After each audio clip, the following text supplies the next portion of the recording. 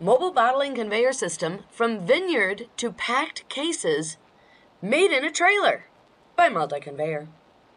Multi Conveyor was approached by a reputable wine industry integrator in search of complex conveyor engineering.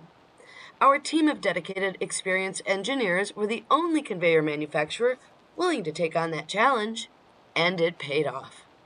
This is the second of two mobile bottling lines for the same customer with more planned in the future.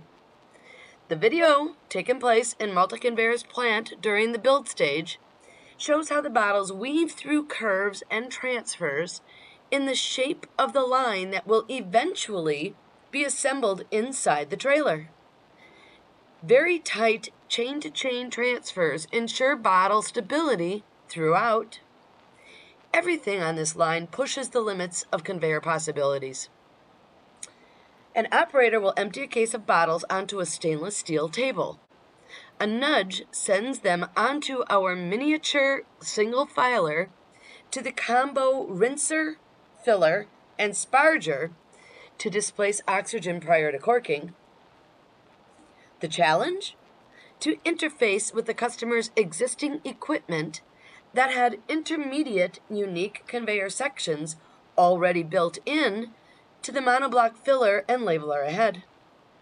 Our team showed extreme flexibility by adjusting cross sections to accommodate an unusual metric design. The corked and foil wrapped bottles then travel through custom curves to the integrated labeler and single lane back to the door of the trailer for manual repacking into the original bottle case. Filmed during installation, you'll see the system is modified for flush mounting wherever possible. Towards the end of the line, we purposely slow down the transport section line speed prior to an end stop.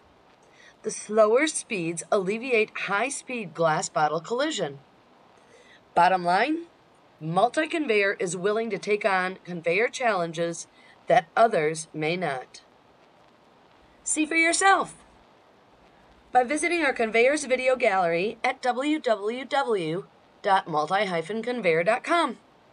Then call us at 1-800-236-7960. Bring us your conveyor challenge. We're happy to help. Remember, multi-conveyor, your best, conveyed better.